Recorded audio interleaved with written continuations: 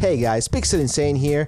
Would you like to make this beautiful procedural water shader in less than 3 minutes? Well, follow along. First thing we gotta do, let's go to Solid View, and then press A and select all and press delete. Boom! And then let's go back to the default layout and press Shift A and add a cube. Let's make this cube right here 2 meters by 2 meters by 0.5 and then let's move it up on the Z axis by 0.25. Then select the cube and rename it. Press in F2 and then rename it water. And then here on the left on the shader editor, press the cube and then click on new material and let's give it a name water matte. And then before click on render view, let's make sure that you have an HDRI set as your lights. And then we can click on render view right there. First of all, we need to change the index of refraction, which is for water is 1.33. And then the second thing, because water is transparent, we need to increase the transmission of the material up to 1. And here we have transparency. And voila! After that, we're gonna just click on the volume and drag and search for a volume principle shader right there. And let's change its density up to 5. And voila! Make sure you change the color as well, something bluish, because water is blue. After that, we're gonna just Shift A and search for a mix shader. On the mix shader, let's drag the factor and search for a light path is camera ray. Now we can disconnect the principal BSDF from the material output and we can connect it to the second slot of the mix shader and we can connect the mix shader to the material output surface. And on the other slot, we're just gonna drag and search for a transparent BSDF. Boom! Right away we have transparency. Also make sure that the roughness is set to zero, so we have a really good reflection right there.